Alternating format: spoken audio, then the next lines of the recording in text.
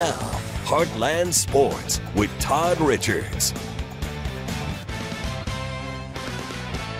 Hi again, everyone. To say the SIU basketball team hit stride the past few games would be a huge understatement. First, a dominating win at home over St. Louis, then a victory over Power 5 opponent Oklahoma State at Banterra Center, and SIU closing out the three game homestand. Checking out that uh, awesome jumbo screen up there in this one and getting the basket from Xavier Johnson, one of the nation's leading scorers against Austin Peay. Then Johnson turns into passer there to Clarence Rupert.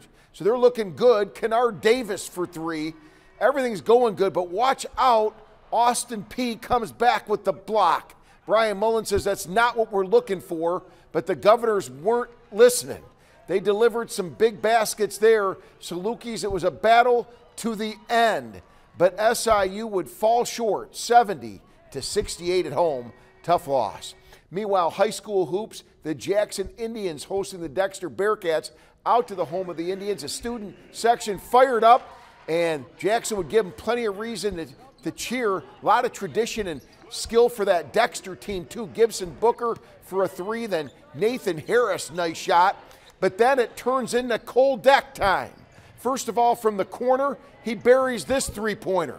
Then, a little bit later, watch this. Deck goes up and scores. He's not done. Kid can play some defense as well. He goes coast to coast and lays that one in.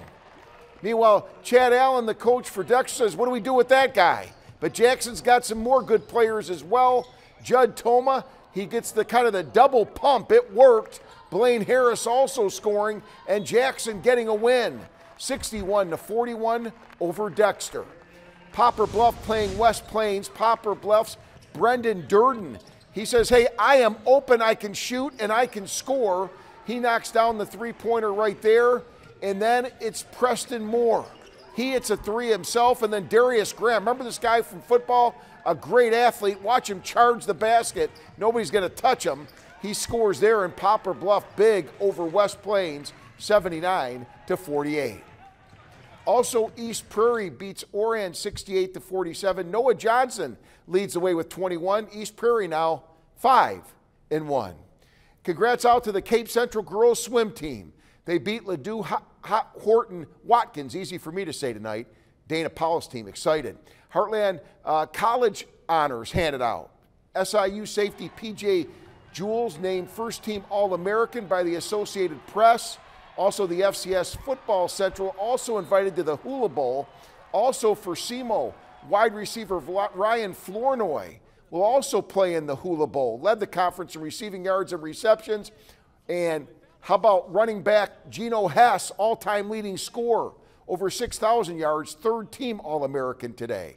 And finally, several cheerleading state championship performances. Let's take a look. Beginning the Class 2 large class, East Prairie takes first place and Chaffee would finish third in the, respective class.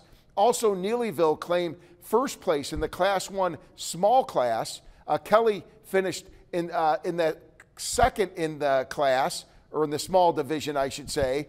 And Jackson wins a Class 5 state title in their class as well. Very impressive. The co ed championship would go to Sykeston. We're going to take a timeout.